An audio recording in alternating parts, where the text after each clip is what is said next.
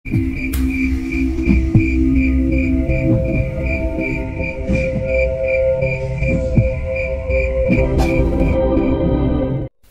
Cina, naga memiliki arti dan simbol yang berbeda-beda. Ada naga kemurkaan yang menjadi simbol kejahatan dan kehancuran. Ada juga naga bijaksana yang menjadi simbol kemakmuran dan keberuntungan. Xie Jin dianggap sebagai salah satu dewa kayangan.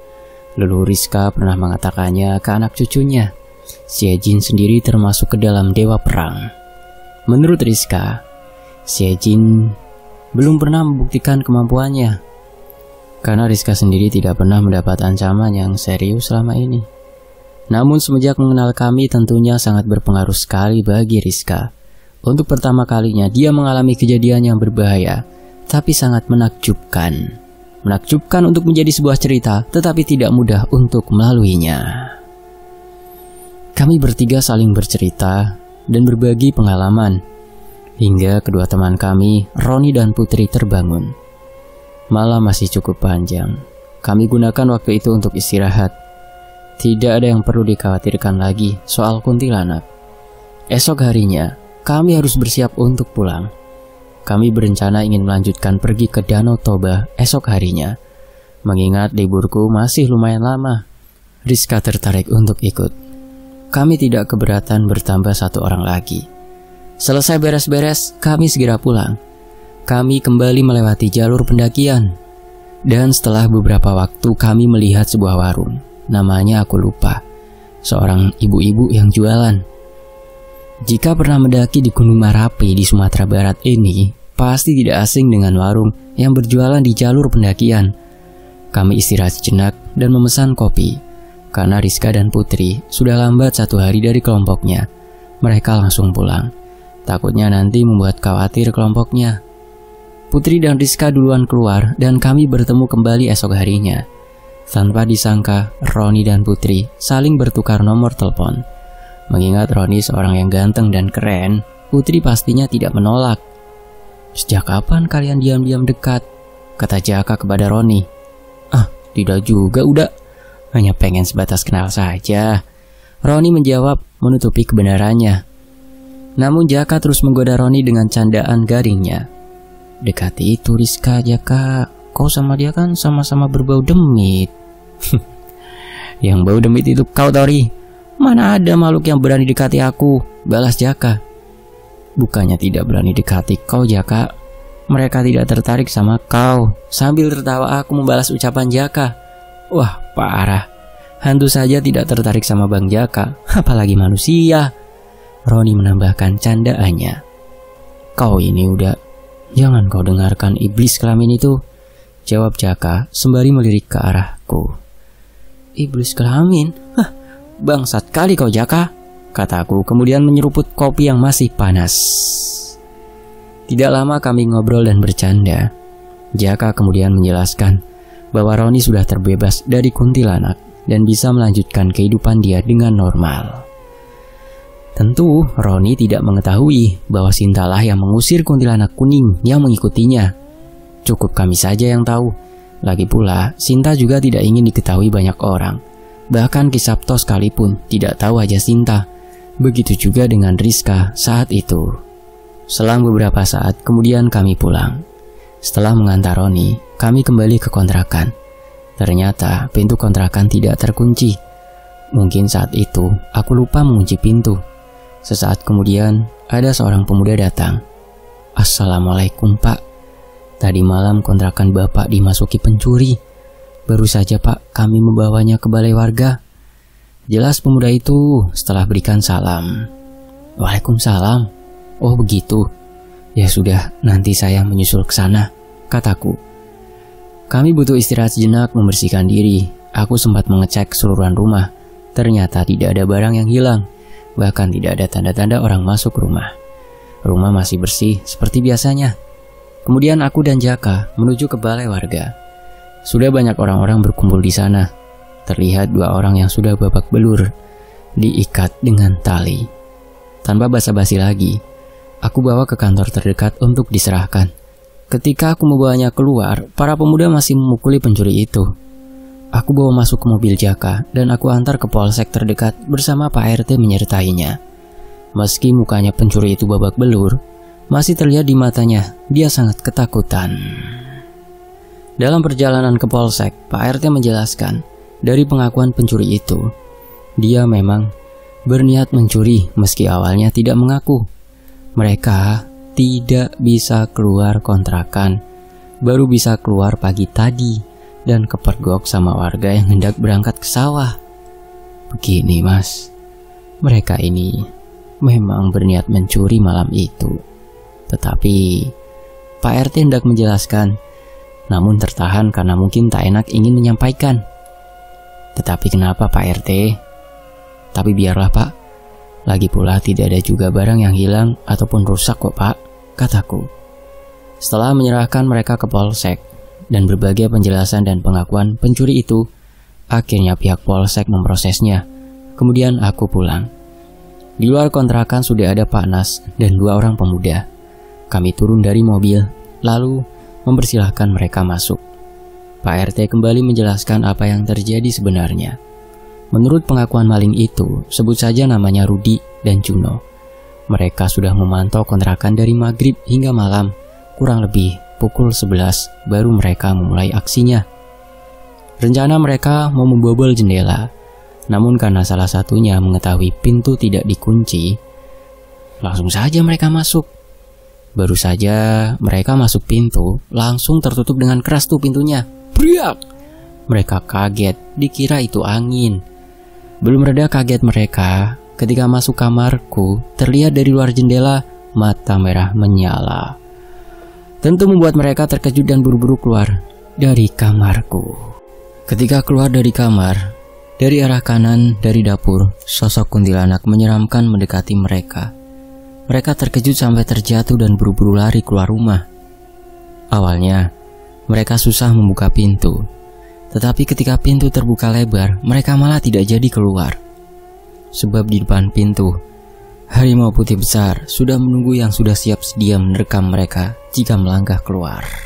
Akhirnya mereka teriak-teriak minta tolong. Tapi sayangnya, tidak ada yang mendengarnya. Hingga mereka pingsan. Lalu tersadar kembali dan pingsan lagi dan terus menerus hingga pagi datang.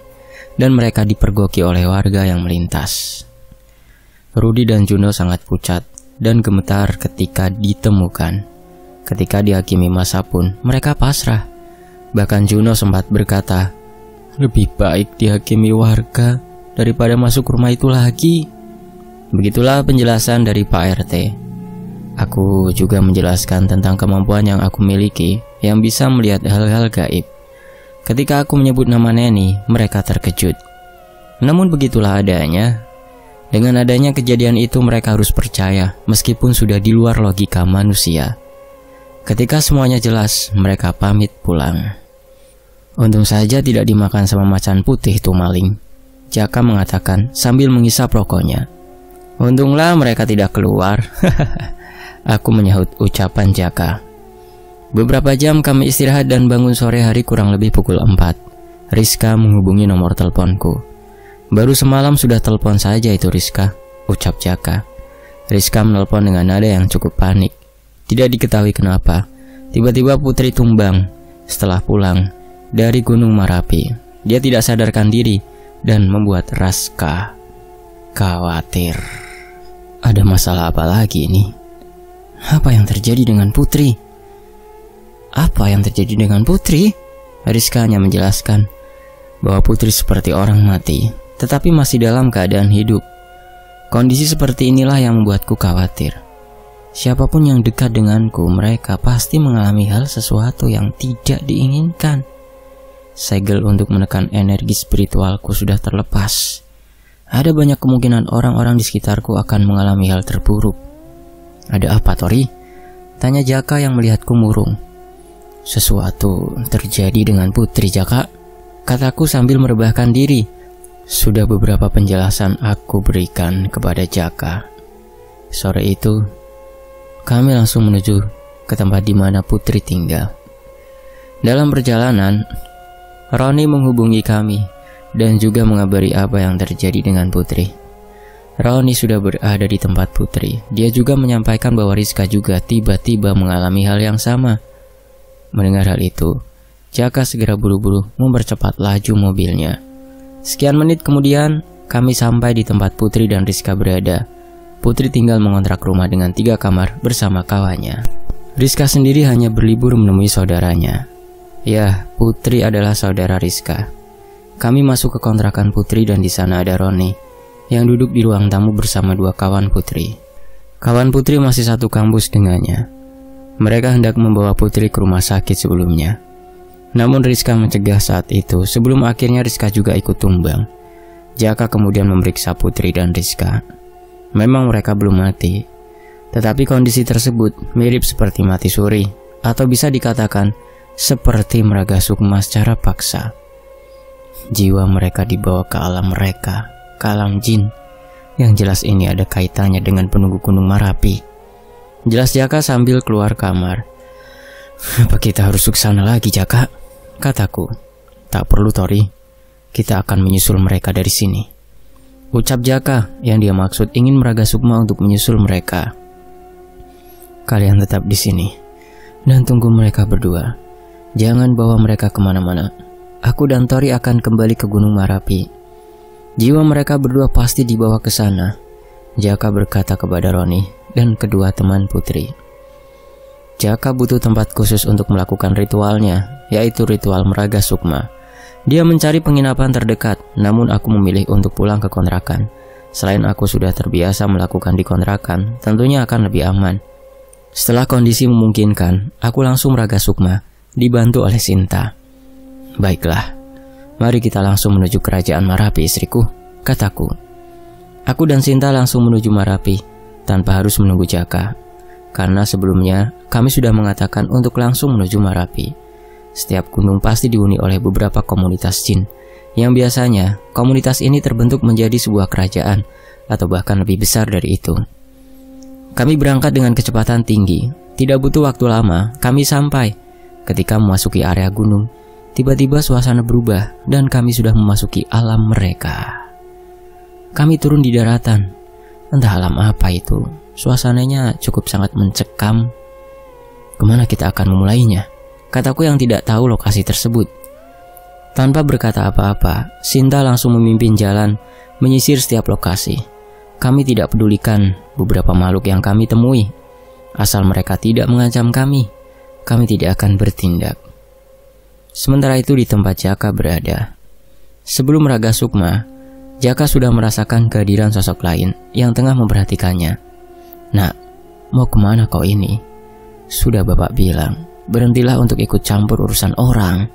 Ucap Kisapto dalam keadaan meraga Sukma. Iya pak, aku mengerti. Tapi ini urusanku. Ada kaitannya dengan kawanku. Aku tidak mungkin diam saja. Bapak tidak usah ikut campur. Jawab Jaka dan bersiap untuk pergi. aku bukannya mau mencegahmu. Bawalah mereka bersamamu. Ucap Ki Sabto sambil menunjukkan dua sosok kesatria Jawa di sampingnya. Kedua sosok kesatria Jawa tersebut adalah pendamping Ki Sabto. Mereka adalah Yada Subali. Tidak mengulur waktu lagi, Jaka langsung berangkat menuju Marapi. Sesampainya di sana, Jaka langsung disambut oleh beberapa makhluk dan menghadangnya. Tanpa basa-basi lagi, sosok yang Jaka temui dia bantai dengan pusaka andalannya. Keris yang diselimuti api yang berkobar. Tentu Jaka melakukannya ada alasan, karena Jaka merasa terancam oleh sosok yang berani menghadangnya. Sebetulnya para makhluk yang berada di sekitar tidak akan menyerang jika mereka tidak terancam atau terganggu. Cukup dengan kehadiran Jaka saja sudah membuat para makhluk yang ada di sekitar merasa terancam dan terganggu. Apa yang kau lakukan di sini manusia? Apa masalahmu mengacau di sini? Ucap salah satu sosok berbulu dengan cakarnya yang panjang dan mulutnya yang bertaring panjang. Ukuran tubuhnya tidak jauh beda dengan manusia, mirip genderuwo tetapi kecil. Aku tidak ada masalah dengan kalian. Kalian yang menyerang duluan. Balas Jaka. Sosok yang berhadapan dengan Jaka sangat marah karena ucapan Jaka yang dirasa kurang pantas. Beberapa sosok lainnya mulai muncul dan mengepung Jaka. Meskipun dalam keadaan terkepung, mereka hanyalah sosok makhluk yang lemah jika dibandingkan dengan sosok yang berbeda di kawasan hutan gaib Pasaman. Sementara itu, aku dan Sinta mendengar begitu berisik dan gaduh dari arah samping kanan kami. Dari jauh kami melihat sekilas kobaran api yang menyambar hingga terlihat di langit. Apalagi yang dilakukan orang itu, kata Sinta. Entahlah, dia memang suka cari masalah, kataku. Kami langsung mengambil lokasi pertarungan itu. Ketika sampai di sana, begitu banyak makhluk aneh yang terkapar. Jaka memang tidak sendiri. Ada dua pengawal tangguh bersamanya. Yada Subali, yang membuat Jaka sulit dikalahkan. Yada Subali memiliki kemampuan berbeda. Satunya adalah tipe bertahan dan satunya adalah tipe penyerang. Dengan kemampuan jarak menengah Jaka yang mematikan membuatnya sulit dikalahkan. Tenang, semua terkendali. Kau diam saja, Tori. Ucap Jaka dengan sombongnya. Ketika Jaka lengah, sosok hitam sudah berada di samping Jaka dan hendak mencabiknya dengan kukunya yang tajam. Krak! Suara tulang yang patah. Tanpa disadari tangan Yada sudah mencengkram leher makhluk itu. Yada angkat tinggi-tinggi dan melemparnya. Dias, dias! Disambut oleh Subali dengan pukulan beruntun. Makhluk itu hancur seketika. Sesaat kemudian, keempat zirah datang menyusul kami. Kemudian kami bersama-sama menuju kerajaan Marapi, di mana makhluk kuat yang sesungguhnya berada. Adanya Sinta, Sirah dan Yada Subali, aku rasa tidak ada yang bisa mengancam kami. Kita kembali ke belakang, di mana kami pertama kali bertemu Rizka dan berpisah di jalur pendakian. Ketika kami keluar dari hutan dan menemui jalurnya, aku dan yang lain istirahat di warung jalur pendakian. Sedangkan Rizka dan Putri buru-buru kembali menemui rombongannya. Seperti dugaanku, rombongan Rizka sudah melaporkan bahwa Rizka dan Putri belum kembali. Tim pencari sudah disiapkan. Ketika Rizka dan Putri tiba-tiba muncul membuat rombongannya lega. Setelah Rizka menyelesaikan segala laporan yang ada, Rizka dan Putri pulang sampai di kontrakan Putri. Mereka istirahat dan Rizka terbangun Putri sudah seperti orang mati, namun masih hidup. Rizka menyadari ada keganjilan, lalu buru-buru menghubungi aku dan Roni. Siapa kalian? Mau apa? Pergi! Rizka berteriak kepada beberapa sosok merah yang mengepung Rizka dan Putri. Tentu hal itu membuat kawan satu kontrakan Putri takut, tidak berani keluar kamar mereka. Rizka hendak memanggil si Jin, namun terlambat. Rizka sudah tidak sadarkan diri. Rizka sadar bahwa dia tengah diseret kuntilanak hitam. Melihat suasana sekeliling, Rizka sudah berada di dunia mereka, yaitu kerajaan Marapi. Langitnya mendung, berwarna merah gelap, dan bau busuk di sekitar membuat pusing dan mual. Saat ada kesempatan, Rizka langsung berteriak, Shejin!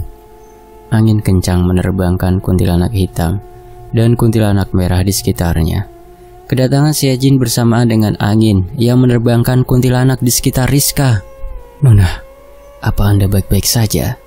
Ucap Siajin dengan bahasa yang Rizka mengerti. Rizka teran-heran, bukan hanya penampilan Siajin yang berubah, tetapi Siajin mampu berbicara secara jelas. Siajin berpenampilan seperti prajurit Tiongkok era dinasti Qin, baju zirah emas dengan tombak goloknya. Selama ini Rizka juga tidak pernah sekalipun mendengar si Ejin bicara langsung. Rizka terus terbengong sampai lupa dengan situasi sekitarnya. Rizka baru menyadari bahwa yang melindunginya selama ini adalah sosok yang sangat tampan, gagah, dan terlihat kuat. Nona, mari pergi dari sini, ucap si Ejin. iya, tapi tunggu dulu si Ejin. Temanku sepertinya ada di sini juga. Bisakah kita mencarinya juga? Rizka sekejap tersadar dari lamunannya dan mengatakan, Sesuai kehendak Anda, Nona. Tanpa membantah, si Ejin menjawab sambil menunjukkan sikap hormat. Namun tanpa mereka sadari, mereka sudah terkepung begitu banyak kuntilanak berbagai jenis dengan wujud mereka yang mengerikan. Si Ejin menyadari tidak bisa melindungi Rizka dengan posisi terkepung. Di situlah si Ejin menunjukkan sesuatu yang membuat Rizka terkagum. Waduh, Cheng le. Si Ejin akan kesulitan melindungi Rizka dengan keadaan terkepung. Jalan satu-satunya adalah mundur. Waduh, Cheng le. Si Ejin bersorak sambil mengangkat tombak goloknya. Maaf kalau salah eja ya. Dari arah belakang mereka terdengar suara tapak kuda yang berlari menerobos kumpulan kuntilanak. Kuda itu mendekat mengambil Rizka dan Siejin, seekor kuda perang yang besar, berwarna putih dan memiliki sayap. Naiklah Nona, maaf lancang, ucap Siejin sambil mengangkat Rizka membantu menaiki kuda yang bernama Baofeng. Maju Baofeng! Siejin duduk di atas kuda di belakang Rizka sambil memberitakan Baofeng pergi. Bao Feng meringkik dan kaki depannya terangkat yang membuat Rizka kaget dan akan terjatuh. Hati-hati Nona, berpeganglah yang kuat. Xie Jin memegang pundak Rizka yang membuat Rizka nyaman berada di samping Xie Jin. Bao Feng berlari mengitari para kuntilanak dibarengi Xie Jin mengayunkan tombaknya. Sebagian besar kuntilanak terpecah dan kemudian Bao Feng terbang ke langit. Xie Jin, ke mana kita mencari kawanku? Tanya Rizka sambil menatap ke depan. Maaf Nona, saya tidak bisa memastikan lokasi kerabat Anda berada. Prioritas saya mengamankan Anda terlebih dahulu. Jawab Jin.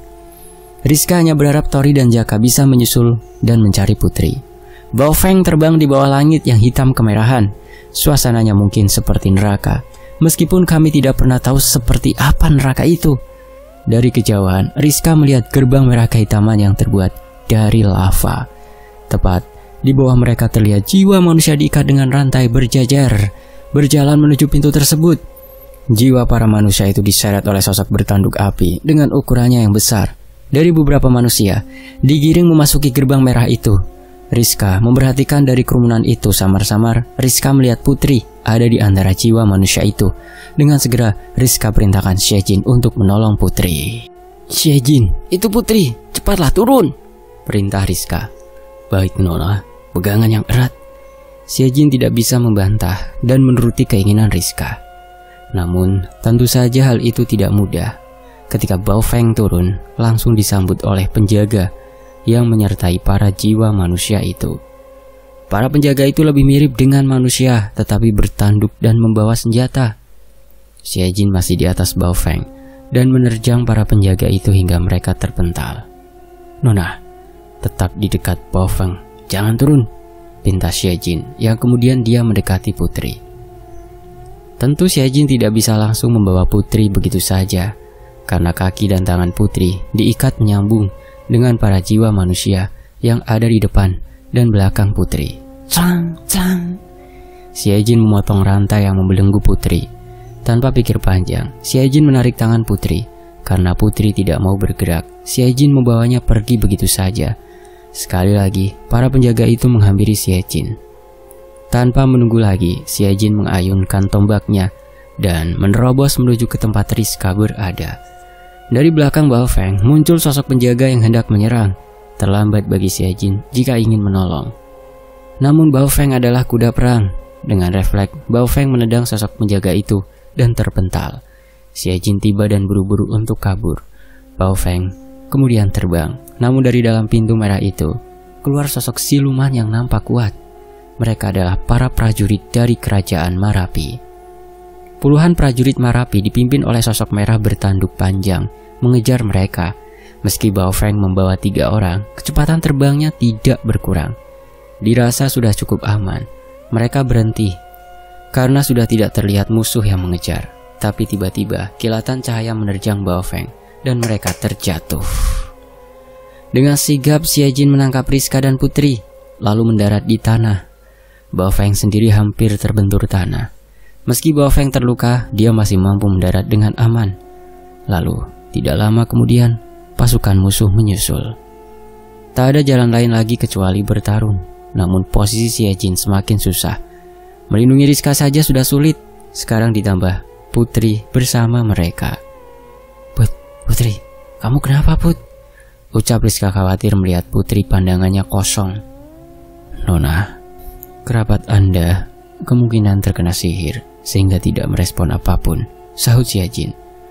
Di hadapan mereka ratusan prajurit bertanduk dengan persenjataan lengkap dan dipimpin oleh sosok yang lebih besar yang memiliki tanduk yang menyala api, yakni iblis api. Dengan berani Jin maju melangkah ke depan. Bafeng, Lindungi mereka dengan nyawamu, perintah Jin. Bao Feng meringkih dan mengepakkan sayapnya, lalu mendekati Rizka dan Putri untuk menaikinya. Kamu beraninya berbuat masalah di tanah kami. Jangan ikut campur urusan kami. Pergilah, tinggalkan manusia itu. Ancam iblis api. Jin adalah salah satu dewa perang yang melindungi Rizka dan itu adalah tugasnya. Jin tidak akan pernah mundur. Majulah, jawab Jin sambil mengarahkan tombak goloknya. Hancurkan dia dan tangkap manusia itu. Perintah iblis api. Debu berterbangan bersamaan dengan puluhan prajurit bertanduk menyerang Jin. Mereka meremehkan Jin. Hanya puluhan prajurit yang mendatangi Jin. Tanpa ragu Jin menghadang. Pertarungan tidak terelakkan lagi. Ayunan golok Jin menumbangkan seluruh prajurit yang menyerangnya dalam sekejap. Iblis api semakin marah. Dia seorang diri langsung menyerang Jin. Wah, rasakan ini. Serangan iblis api mengarah ke Jin. Jin bersiap menerima serangan tersebut. Trang, trang. Benturan dua senjata beradu disertai gelombang angin keluar di setiap benturan senjata mereka, dan sejenak mereka berhenti. Sekali lagi aku peringatkan, pergilah dan tinggalkan manusia itu, ucap iblis api. Tidak perlu banyak bicara, lewati aku jika ingin mengambil mereka, jawab Jin dan memulai menyerang. Wah, majulah, balas iblis api. Keduanya terus beradu kemampuan. Jin sedikit lebih unggul karena senjatanya yang panjang, sedangkan kapak milik iblis tidak sepanjang senjata Jin. Meskipun Jin terlihat unggul, dia belum mampu menumbangkan iblis api itu. Jedas! Iblis api terpental dan tersungkur. Para prajurit Marapi hendak membantu dan menyerang Jin, tetapi Iblis api menyerang anak buahnya sendiri menusuk dengan ujung kampaknya dan membelahnya jadi dua. Jangan menggangguku, teriak iblis api dan membuat sejumlah pasukan mundur. Ternyata iblis api mempunyai harga diri yang tinggi dan tak ingin pertarungan mereka terganggu. Namun saat Jin dan iblis api bertempur kembali, beberapa pasukan Marapi menghampiri Rizka dan Putri. Dalam keadaan terluka, Bao Feng tetap melindungi. Buak! Pukulan keras menghantam iblis api dan membuat terpental kembali. Kali ini iblis api terluka parah dan sulit untuk berdiri.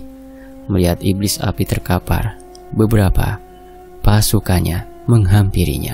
Minggir! Iblis api katakan kepada pasukannya.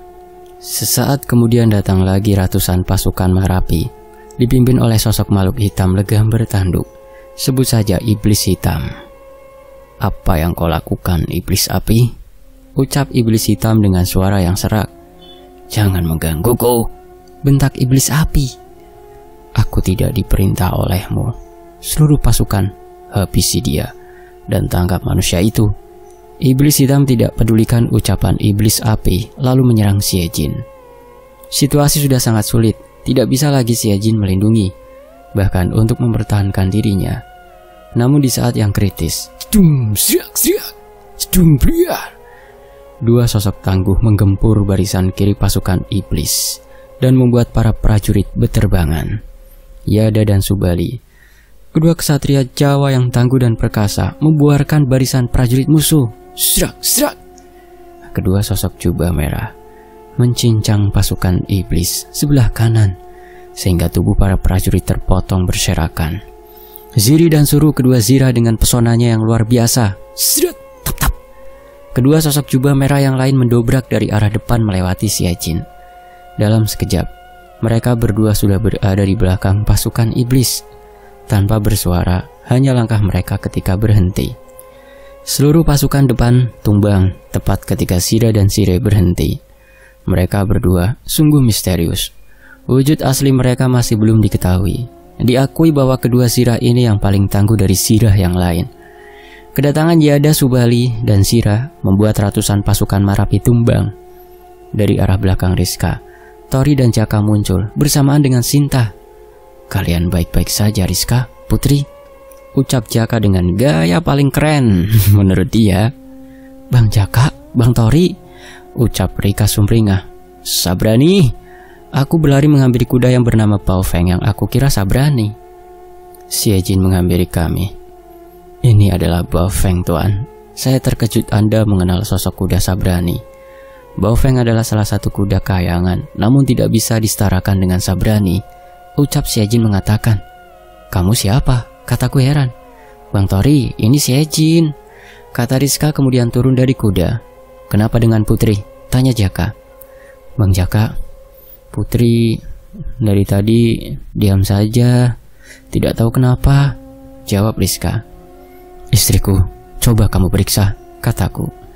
Tanpa membantah, Sinta langsung menuruti perintah Tori. Ini bukan masalah jiwa manusia ini aman. Justru kuda ini terluka parah. Ucap Sinta sambil mengusap Baofeng. Putri tiba-tiba tersadar dan kebingungan. Baofeng juga sembuh setelah disentuh oleh Sinta dan Baofeng menempelkan kepalanya ke Sinta bermaksud berterima kasih. Saya sangat berterima kasih kepada Nona. Ucap Sejin kepada Sinta. Tidak masalah, balas Sinta. Sabrani adalah salah satu penjaga istana langit yang berada di kayangan. Sabrani adalah kuda terbang sama seperti Baofeng. Tetapi Sabrani mampu berbicara dan sangat kuat, dan belum ada yang pernah menjadikannya tunggangan. Sedangkan Baofeng adalah kuda terbang khusus tunggangan untuk para panglima kerajaan langit. Meski tak bisa bicara, Baofeng mampu memahami ucapan tuanya dan juga cerdas. Sementara itu, di pihak iblis hitam dan api mulai bangkit kembali. Meskipun seluruh pasukan iblis hitam dibantai seluruhnya oleh Yada Subali dan Zirah, Iblis api yang sudah mulai sembuh bangkit dan menyerahkan seluruh pasukannya kepada iblis hitam. Dia segera kembali di kerajaan Marapi untuk meminta bantuan. Putri masih kebingungan dengan keadaan sekitar. Rizka, di mana ini? Siapa mereka? Ucap Putri ketakutan. Putri sangat ketakutan ketika tersadar di tempat yang tak pernah Putri lihat sebelumnya. Kemudian Putri turun dari Bafeng dan mendekati Rizka. Tenanglah Put, tidak apa-apa. Rizka menenangkan.